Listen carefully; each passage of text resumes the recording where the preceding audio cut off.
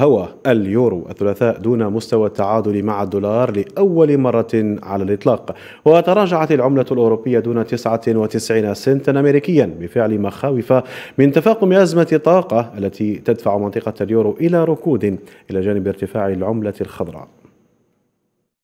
قرابة الخمسة أشهر عن شروع الاحتياطي الفيدرالي الأمريكي في رفع أسعار الفائدة. وثلاث زيادات متتالية في تسعير الدولار. تعد الأعلى منذ ثلاثين عاما. العملة الخضراء تحلق عاليا. قرارات متتالية كان الدولار في مقدمة المستفيدين منها. فارتفعت العملة الخضراء لتسجل مستوى قياسيا جديدا منذ عشرين عاما مقابل سلة من العملات الستة الرئيسية.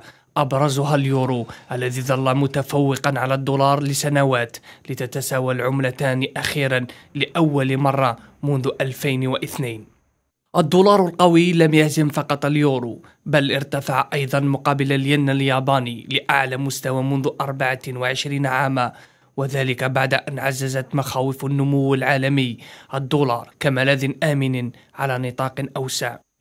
ويأتي هذا الصعود وسط عملية شراء مكثفة للعملة الأمريكية كأفضل استثمار بديل ومتاح في سوق صرف العملات الأجنبية بحسب وول ستريت جورنال وعززت بيانات الوظائف الجديدة في الولايات المتحدة وتصريحات بعض أعضاء لجنة السياسات النقدية الأمريكية من احتمالات رفع سعر الفائدة على الأموال الفيدرالية مرة أخرى بمقدار 75 نقطة أساس خلال اجتماع هذا الشهر من قوة الدولار. تحركات الفيدرالي الأمريكي عززها أيضا تأثر الاقتصادات الأوروبية بتداعية الحرب في أوكرانيا مع تهديدات بتلاشي مصدر 40% من حاجيتها الغازية وبلوغ معدلات التضخم.